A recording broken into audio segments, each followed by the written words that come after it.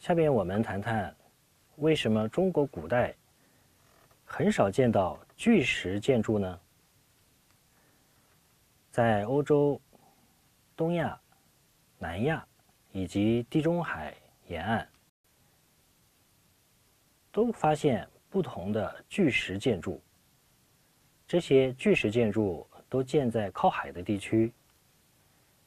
一般这些几吨重的巨大石块所堆成的物体呢，啊，都是用于宗教方面的，啊，比如。作为坟墓或宗教膜拜物，英格兰和苏格兰人都有着神秘的巨石崇拜的习俗。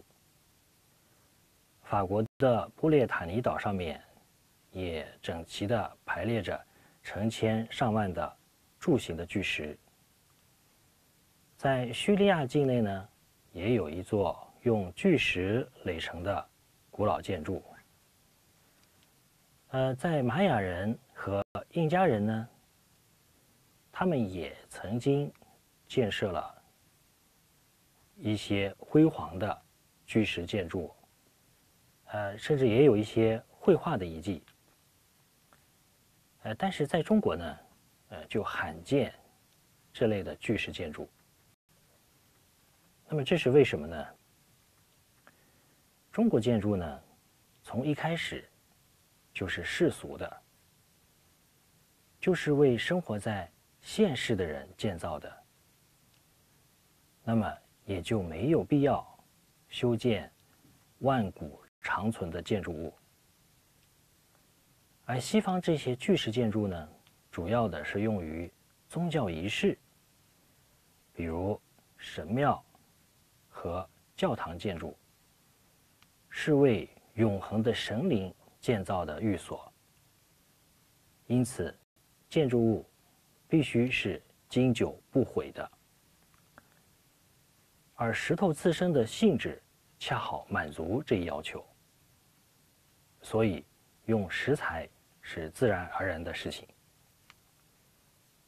还有一个原因，就是中国古代青铜器发达，在国家层面的祭祀中。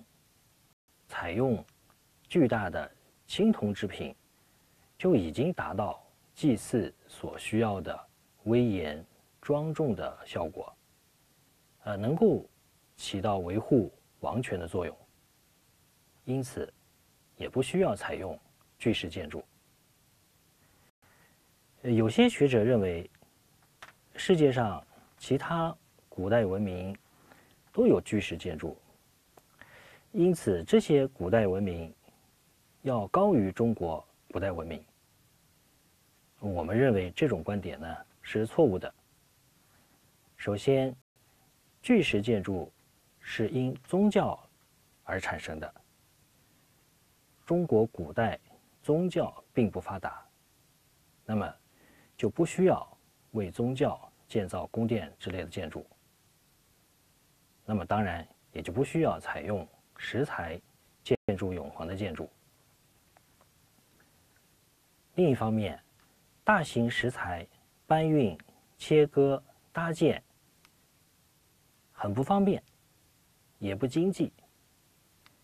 因此，中国古人有意识的避免使用这些石材来修建永恒的宗教建筑。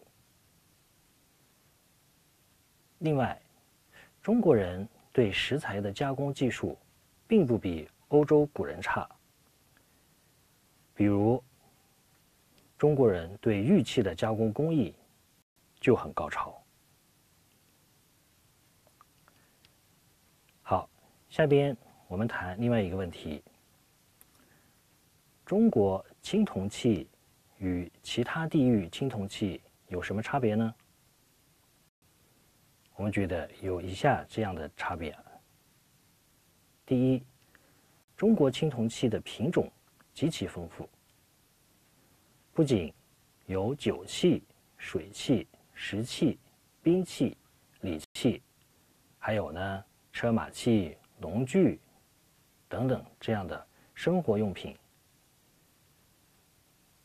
第二，中国青铜器最大的特点是器物上有铭文。